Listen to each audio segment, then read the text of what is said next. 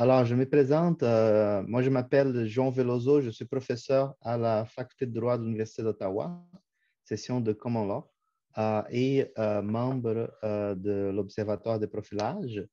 Euh, un, petit peu d'informations techniques à propos de Zoom. Donc, les conférenciers vont présenter en anglais et on a une, traduction simultanée. Il suffit de cliquer sur les, les petits boutons sur interprétation et changer euh, les canaux d'écoute. Donc, on peut écouter en français, euh, on peut écouter en anglais, ou bien on peut désactiver et pas cliquer les boutons. Et ça veut dire qu'on va avoir accès euh, au mode original. Donc, les présentations en anglais et certaines questions plus tard en français. On a commencé l'enregistrement et dans les prochaines cinq secondes, je vais appuyer un petit bouton sur ma tête et je vais changer pour le mode anglais. So, uh, welcome uh, to the webinar. uh, Alors, bienvenue au webinaire politique de euh, la police, euh, les habitudes euh, policières aux États-Unis. Euh, nous aimerions reconnaître que notre organisme est sur le territoire non cédé autochtone. Les Kanagawaga est reconnu entre les euh, originaux de ces terres. Également, Geojaga Montréal est connu historiquement en tant qu'un endroit de regroupement pour plusieurs Premières Nations. Aujourd'hui, il y a une population de personnes autochtones et d'autres. Nous, les membres de l'Observatoire de des profilages, se- s'engagent à défendre les principes de solidarité et respect dans les communautés et dans nos activités à côté des Premières Nations. Alors, rapidement, en petite introduction sur qu'est-ce que c'est l'Observatoire. Euh, nous sommes composés de plus de 30 chercheurs dans sept universités, pas seulement au Canada, mais surtout au Canada et au Québec. Nous parlons de plus d'une vingtaine de partenaires communautaires et institutionnels, euh, huit projets de recherche qui travaillent avec les partenaires communautaires et institutionnels, ce qui veut dire nous faisons de la recherche avec eux et pour eux. Nous avons plus de 40 étudiantes à la maîtrise et au doctorat.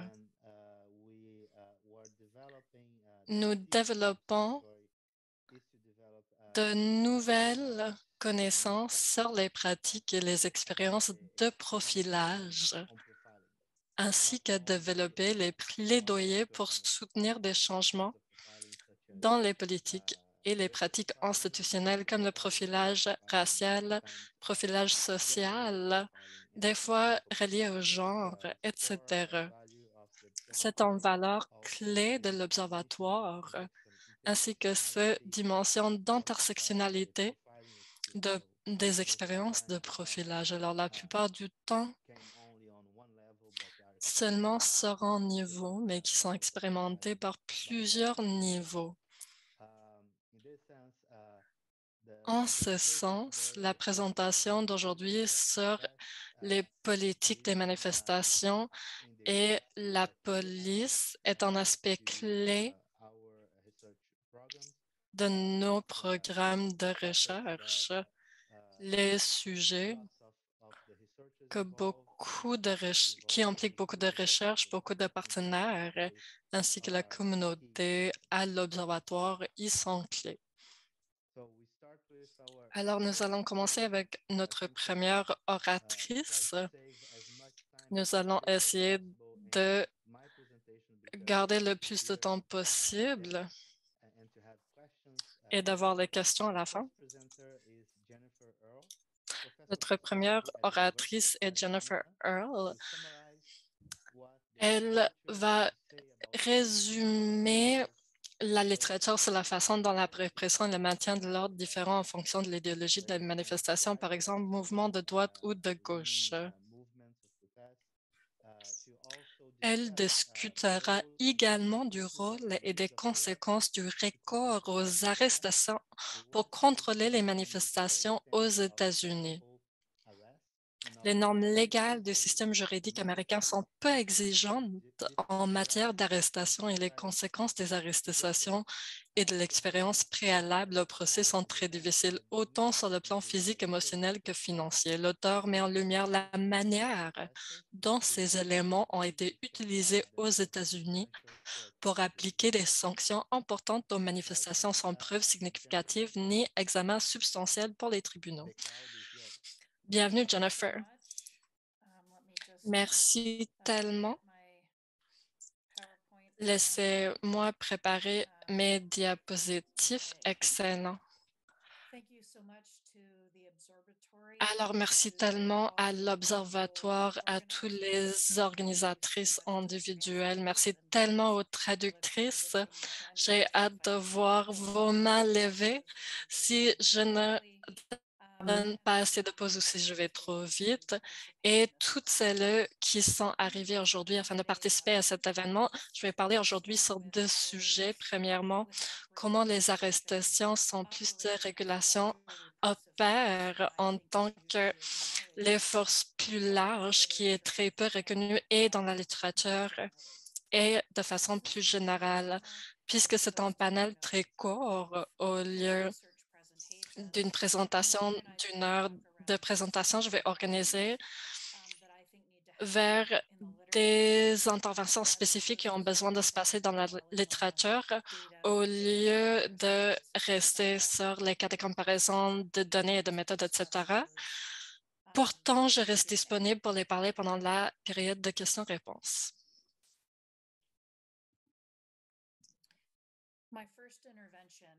Ma première intervention consiste à faire valoir que les chercheurs parlent souvent des arrestations par rapport à la violence comme si les arrestations n'étaient pas violentes.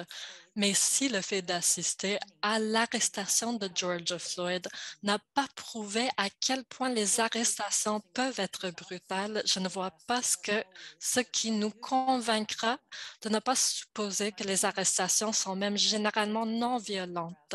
Dans le cadre de mes propres recherches, j'ai constaté que les arrestations liées à des manifestations peuvent impliquer et impliquent souvent une grande violence dans ma propre recherche pour laquelle j'ai fait les entretiens des manifestations qui furent arrêtées, j'ai trouvé les témoignages de violence significatifs.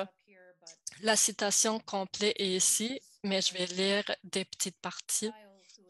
Kyle, détenu au RNC, j'ai été plaqué au sol et par à peu près cinq flics se sont empilés sur moi. Une fois à terre, ils m'ont frappé avec des matraques à plusieurs reprises. Ils étaient vulgaires et offensifs. Ils étaient debout sur mes jambes, mais ensuite, ils étaient surtout en train de me frapper dans le dos avec des matraques et de me presser mon visage contre le béton. Prends ça, prends ça, fils de pute. Ça t'apprendra. Une fois qu'ils m'avaient un peu battu, ils m'ont ramassé et ils ont mis dans une camionnette avec une autre personne. Lorsque l'expérience de Kyle pourrait sembler très extrême, c'était très similaire à celle des autres personnes, les personnes qui furent arrêtées, mais n'a pas subi ce genre de violence. Mais je crois que le témoignage nous donne une expérience de la violence qui peut avoir lieu.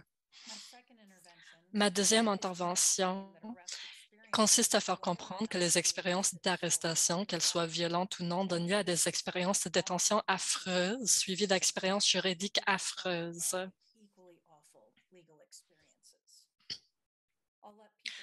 Je laisserai les gens parcourir ces citations pendant que je parle, mais les expériences de serrage excessif des menottes qui ont entraîné des coupures au poignet une perte de sensation, des mains devenues blanches ou violettes et dans certains cas des évanouissements et des lors du RNC du 2004. bien que ce type de serrage excessif soit exceptionnellement fréquent avec les menottes flexibles, euh, le type de menottes le plus souvent utilisé dans les situations d'arrestation massive, les menottes métalliques ordinaires peuvent également être trop serrées. Et dans un article de 2005, j'examine les données d'un conflit au travail en Arizona qui montrent des problèmes très similaires avec les menottes métalliques.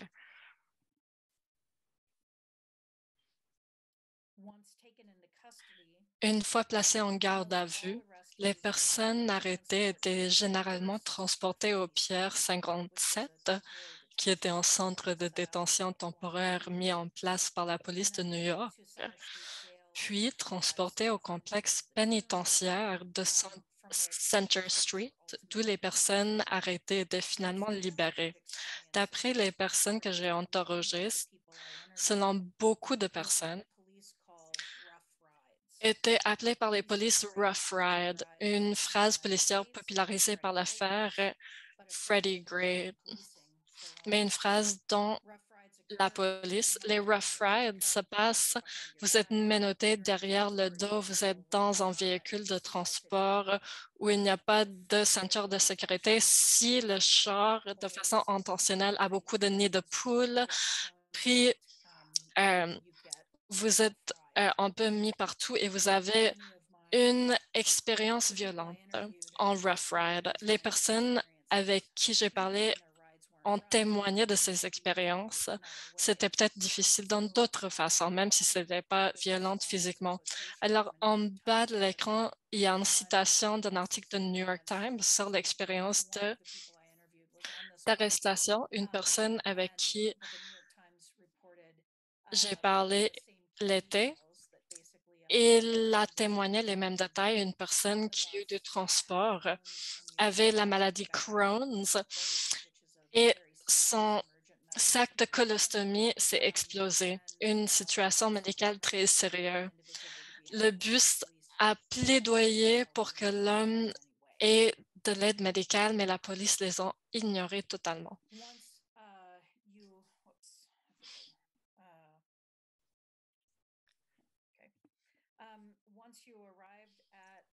Une fois arrivé au pier, le premier destination, l'expérience de détention que vous avez débutée était également horrible.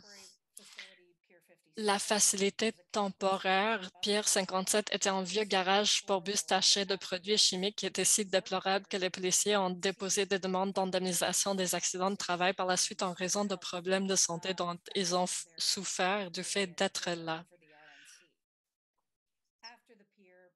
Après la jetée, le Pier 57, les personnes étaient transférées à Center Street où les qui est un centre de détention rattaché au tribunal Manhattan, où les rois, la moississeur et la froid sont le quotidien. Dans les deux établissements, les personnes arrêtées ont conduit les conditions violentes que j'ai summarisées. Par exemple, beaucoup d'arrêtés euh, ont eu un accès restreint à l'accès à la nourriture, à l'eau et aux toilettes. Ils étaient exposés à des températures extrêmes chaudes et froides. L'accès aux soins médicaux était très limité. Par exemple, les cas où les personnes avaient besoin de leurs médicaments de diabète et n'ont pas eu accès. Et Ford dit que s'ils insistaient de l'avoir, ils seraient mis en bas de la file alors, s'ils ont été détenus pour 20 heures, si vous demandez des soins médicaux, vous aurez encore 20 heures de détention. Ils ont eu les déplacements fréquents entre les cellules et les longues durées de détention qui ont entraîné une privation de sommeil. Comme vous pouvez imaginer, les, les expériences difficiles ont mené aux difficultés psychologiques pour beaucoup d'entre les arrêtés dû à l'incertitude quant à la durée de la détention, à l'isolement des amis, des soutiens et des fois des avocats, leur expérience de langage déshumanisant de la part de la police et la manipulation psychologique intentionnelle.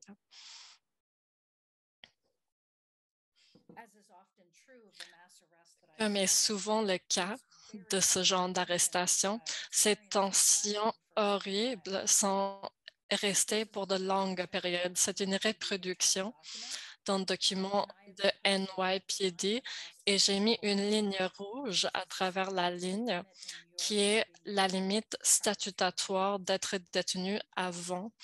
Euh, en noir, c'est, excuse-moi,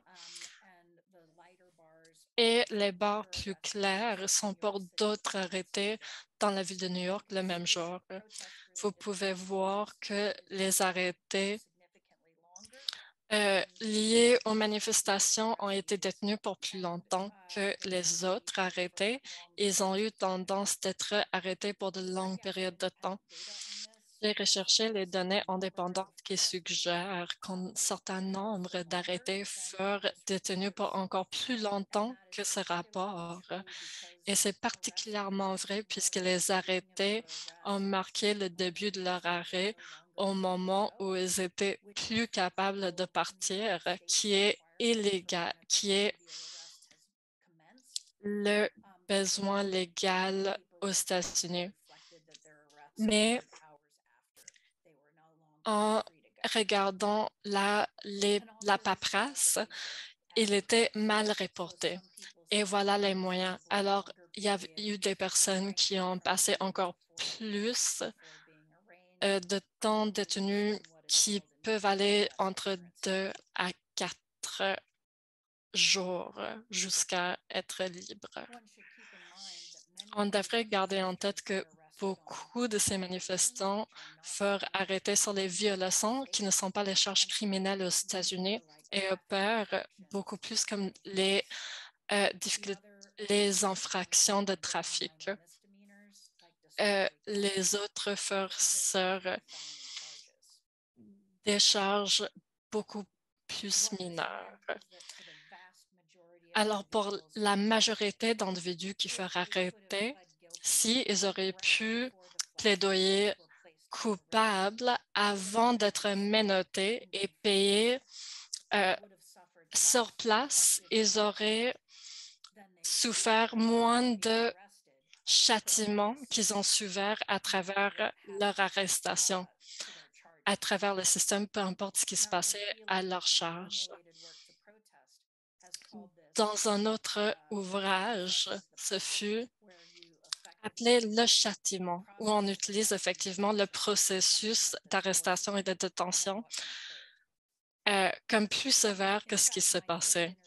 Et ma troisième intervention est de souligner la façon que les arrestations sont déjà délégitimantes pour les manifestations. Stephen Markin a démontré que Les arrestations sont très délégitimantes pour les manifestations et les mouvements parce que l'arrestation est signalée, mais le nombre dérisoire de condamnations est rarement compris par la suite comme une mise en accusation. C'est essentiellement ce que Barkin a découvert il y a 40 ans. Le maintien de l'ordre légaliste fonctionne en aspirant les ressources, le personnel et la légitimité des mouvements, tandis que le corps à la seule violence se retourne facilement contre la police. La plupart de ces arrestations ne sont pas les convictions. Alors, si vous n'êtes pas réarrêté dans l'État, euh, le cas est euh, relâché. Cela veut dire qu'une conviction était épiphénoménale aux convictions qui a eu lieu. Cela m'amène à une quatrième intervention qui consiste donc à reconnaître pleinement la capacité répressive des arrestations et à cesser de prétendre qu'il existe un continuum où les arrestations sont nécessairement plus douces et distinctes de la violence. Il s'agit d'une hypothèse très courante dans la recherche sur la répression. comme si ces expériences peuvent être comparables.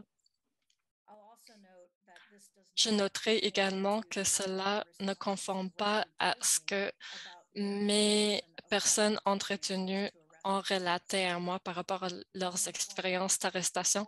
Une personne m'a raconté que dans une arrestation, il a eu la jambe cassée et vécu l'expérience de l'arrestation lors du RNC en 2004 et s'il aurait eu à choisir, il aurait préféré avoir la jambe cassée. Ma dernière intervention consiste à faire valoir que les véritables droits à la liberté d'expression et de réunion ne peuvent exister sans une réforme des arrestations et qu'en fait, les véritables droits à un procès équitable ne peuvent peut-être pas exister non plus. La police devient effectivement le juge car c'est elle qui décide qui sera arrêté et donc qui subira ses peines avant le procès. La simple présence aux événements peut justifier une arrestation légale, même si les procureurs ne poursuivent pas l'affaire. La cause probable devient la charge de la preuve et non plus la doute raisonnable,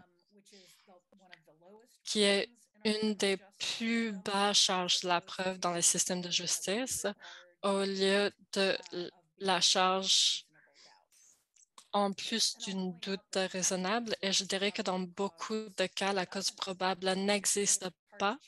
Elle est difficile à contester puisque la seule option est d'ententer une action civile et ensuite la charge de la preuve change et il faut démontrer que la police n'a pas eu de cause doutable et la charge s'en vient à toi.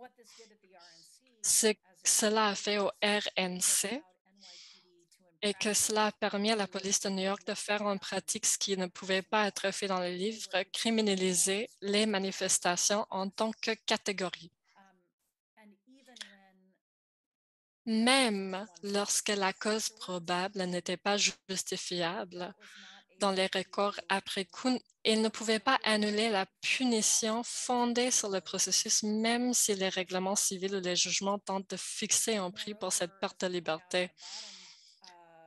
Comme j'explique en bas, les mouvements ne peuvent pas euh, tenter une record en ayant tellement de ses membres arrêtés.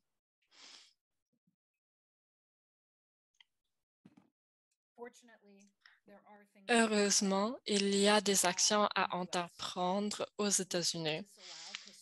On peut refuser les arrestations privatives de liberté lorsqu'un verdict de culpabilité ne peut entraîner une peine d'emprisonnement ou de prison. Cela euh, exigera un changement puisque en ce moment, ce genre d'arrestations sont admises. On pourrait utiliser des billets de comparution au lieu d'arrestations privatives de liberté puisque cela agit en tant qu'encapaciteur sélectif au manifeste. Euh, nous pourrons exiger une cause probable individualisée en examen civil des arrestations lors d'événements majeurs. Comme inentendu, nous pouvons également réduire les sanctions pré-tribunal, ce qui est clair que sans plus de réglementation, ce genre de violation constitutionnelle perdurera. J'aimerais changer maintenant et en dernier diapo où je parle de l'autre sujet qu'on m'a demandé d'adresser, qui est sur le rôle de l'idéologie et la police. Ici, je dirais beaucoup de travail de David Cunningham, ainsi que le travail que Heidi et moi-même font autour de ce genre d'arrestation aux années 60 et 70.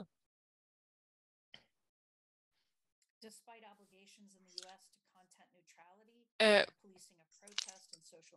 et de la recherche démontre qu'il y a des différences notables qui existent sur la base des buts des mouvements alors comme Cunningham a démontré pour les groupes aux années 50, 60 et 70, euh, pendant COINTELPRO, la police euh, ont changé leur tactique, mais n'a pas changé les mouvements. Alors, ils n'ont pas essayé d'arrêter le KKK de promouvoir la suprématie blanche, il a essayé d'arrêter le KKK d'utiliser la violence. Heidi et moi-même dans notre...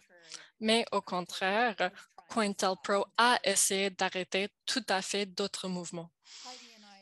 Heidi et moi-même ont démontré nos trouvailles dans les années 60 et 70 que cela a touché toutes les catégories de groupes que la police a catégorisées différemment de euh, beaucoup d'écritures prolifiques sur les, les manifestations à travers cette période et les points de vue négatifs de manifestations racisées qui sont mis euh, dans les groupes de bonnes manifestations, mais la plupart d'entre eux sont de mauvaises manifestants. Les sortes de tactiques répressives euh, diffèrent souvent aussi. Comme Cunningham a démontré, ils ont utilisé les visites en personne afin d'essayer d'encourager les suprémacistes blanches d'utiliser moins de violence mais de ne pas décourager leur participation dans la suprématie blanche. De COINTELPRO jusqu'à aujourd'hui, les groupes régressifs de l'autre côté aux États-Unis furent police, euh, policiers afin d'arrêter leurs mouvements comme l'environnementalisme en désarticulant leur réseau et dans d'autres mouvements, dans la surveillance de croyances, pas seulement les tactiques en elles-mêmes. Comme j'ai dit à la troisième point, la compréhension de la police de menaces diffère et cela également pourrait avoir un effet sur l'intensité de la répression. Nous avons vu cela de menaces dans les années 60 et 70 avec les croyances exprimées dans les journaux de police sur les conspirations communistes et d'autres complots afin d'attaquer la police basés sur ce que la police a vu en tant que les euh, euh, croyances fausses. La recherche sur Charlottesville a démontré que cela est le cas de façon contemporaine et David et moi-même ont un article d'opinion l'année passée après le 6 janvier d'insurrection que nous avons argumenté que ce qui s'est passé avec la préparation à la rallye du 6 janvier, qui est devenue une insurrection en particulier, la police démontre une capacité de ne pas regarder les menaces qui furent faites par les personnes qui sont peut-être similaires ou qui chevauchent euh, leurs croyances. Alors, en gros, la police ne regarde pas l'information crédible qui leur portera à prendre plus d'actions s'ils ont suivi cette information, que ce soit puisque l'interprétation de la police ou dans le cas du 6 janvier, également de la pression politique dans nous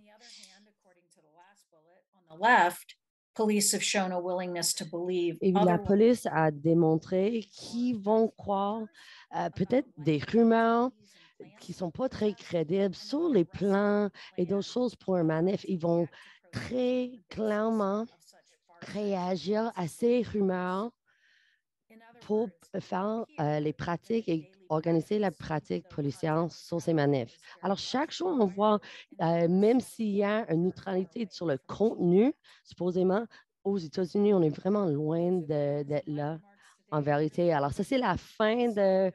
Euh, j'espère que j'ai allé pas trop vite pour les interprètes et j'ai vraiment hâte à entendre vos questions. Merci. Alors, merci beaucoup, professeur Earl. C'était vraiment une présentation très captivante. Alors, on va aller vers notre deuxième présentation avant qu'on ait un moment pour des questions. Alors, notre deuxième présentateur, c'est Dr. Heidi Reynolds Euh, c'est une professeure en sociologie, criminologie et anthropologie à Colorado State University.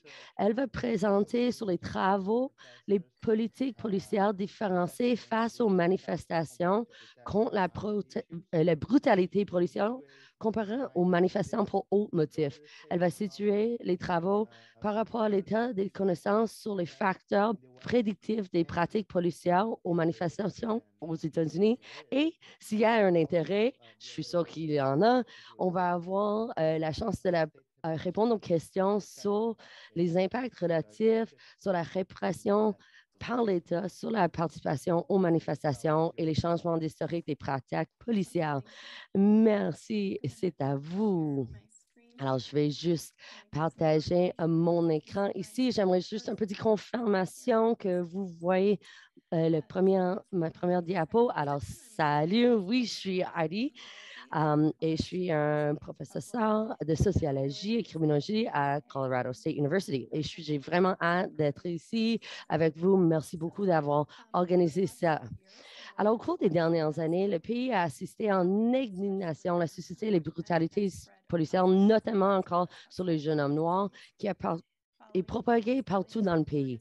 Suite au meurtre commis par la police, Ferguson, New York, Baltimore, Minneapolis et ailleurs, les gens sont descendus dans la rue pour demander les responsabilisations pour les personnes qui sont responsables et la justice aux victimes, aussi pour les communautés où les relations euh, avec la police étaient longtemps tendues. La réponse de la police à ces manifestations ont parfois jeté l'huile sur le feu et contribué à provoquer un débat national et aussi international sur le recours de la force de la police à la militarisation des services de la police.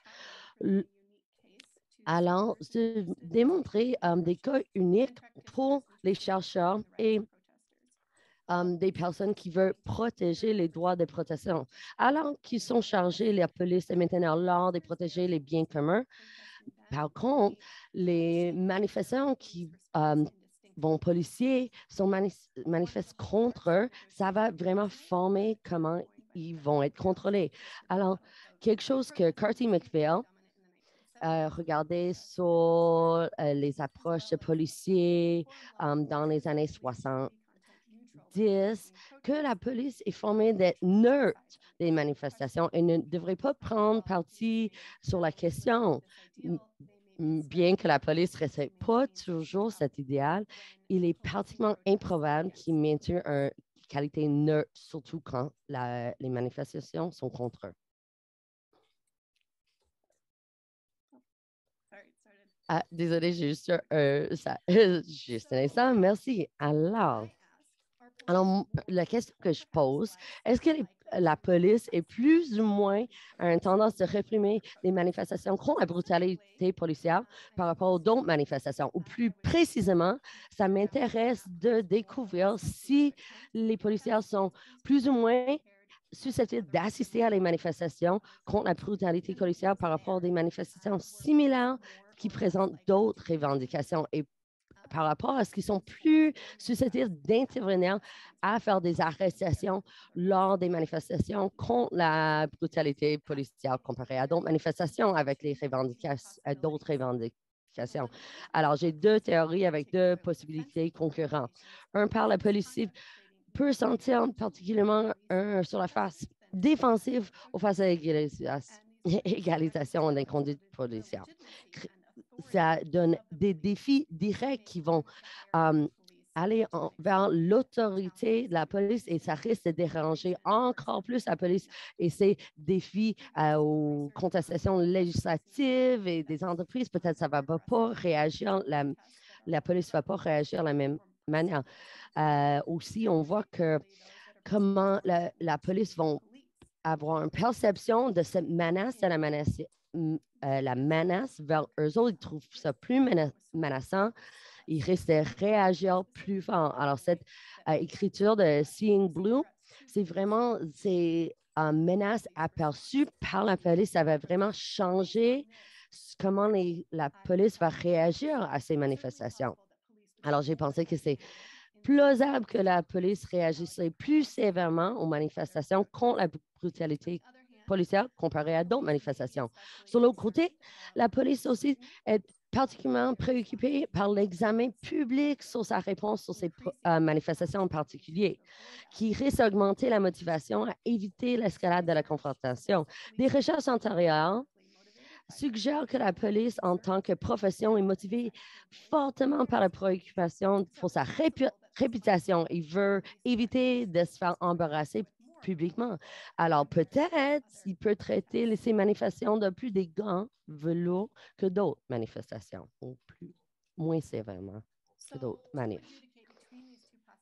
Alors, pour trancher entre ces deux possibilités, j'ai analysé des données de plus que 7000 événements de manifestations sur 35 ans en utilisant une régression logistique. Ces données viennent d'un jeu de données plus grand, des Dynamics of Collection Action, qui comprend plus que 20 000 événements de manifestations euh, rapportés par le New York Times entre les années 60 et 95. Alors, l'ensemble des données a été utilisé dans plusieurs études antérieures cherchant à expliquer la présence et l'action des policiers lors des manifestations. Moi, j'ai travaillé vraiment dans l'État de New York pour éliminer le principe des sources de biais de la sélection des données des journaux pour le biais géographique. J'écoute des modèles pour euh, précisant la présence de la police, l'autre précisant l'intervention, la présence et l'intervention. Et l'autre variable indépendant centrale, c'est si, euh, si c'était dit que cette manifestation avait jusqu'à quatre revendications. Si un était contre euh, la brutalité policière qui était codée dans les jeux de données, il y a plusieurs différentes revendications euh, de, contre la brutalité policière. Ça pourrait être euh, codé comme contre la brutalité policière contre les Afro-Américains, contre les Amérindiens, les Autochtones ou les personnes LGBTQ. J'ai aussi euh, utilisé les mesures de menace et faiblesse qui étaient utilisées dans les études précédentes. C'est essentiel dans ce cas euh, parce qu'il faut savoir que ces revendications quand la brutalité euh, policière soit colérée avec d'autres facteurs, compte tenu euh, s'il y a beaucoup de personnes racisées dans cette manifestation ou utilisent des tactiques plus confrontationnelles. c'est le modèle utilisé avec le, le variable dépendant. On parle de l'intervention policière et on veut prédire la présence de la police. Ça, c'est les deux dichotomies, euh, les deux dichotomies utilisées.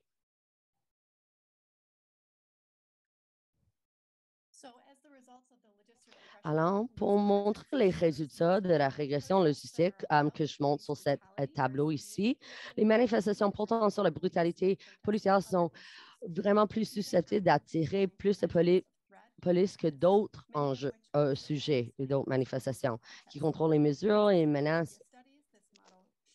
Et c'est vraiment consistant avec d'autres études qu'il va y avoir plus de pression, plus de nombre de police sur d'autres um, enjeux comparés et quand ils vont viser l'État où on eu plus large de types de tactiques les manifs qui vont euh, utiliser les différentes formes de violence, évidemment, vont euh, retirer plus de répression comparé à d'autres euh, genres de manifs qui ne vont pas être vus dans les nouvelles. Alors, ce que je veux montrer dans ça, c'est quand on fait par des enjeux des brutalités policières, et j'aimerais parler de tous ces différents enjeux qui peuvent impacter la réponse policière dans euh, tous ces différents styles de manifestation dans la période de questions-réponses. Merci.